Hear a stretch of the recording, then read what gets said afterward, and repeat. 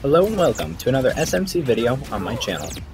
Today we will discuss how recent buffs to Hot Steel may become overpowering in the game. In the background, you can watch recent Hot Steel gameplay while I explain why I think Hot Steel is becoming overpowered.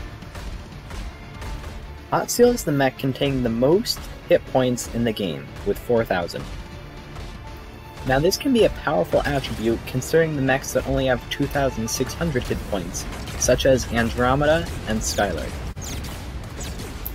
Why I think this might be problematic is that for the lower hit point dealing mechs, by the time we get close to destroying Hot Steel, well, they won't because of Hot Steel's fast dealing damage weapons, which we will get into next. But anyway, even if they do get close, they will most likely be so low on health that the Hot Steel player's pilot will likely destroy them afterward. Our second overpowered detail is that the Tornado Missile, which is Hot Steel's primary weapon, in recent updates to the game, this weapon's damage has been increased so that in total can deal up to 508 damage per shot.